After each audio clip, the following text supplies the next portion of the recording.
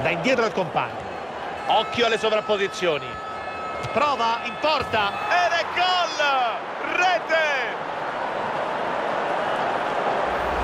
E con questo porta il suo bottino personale a due gol oggi.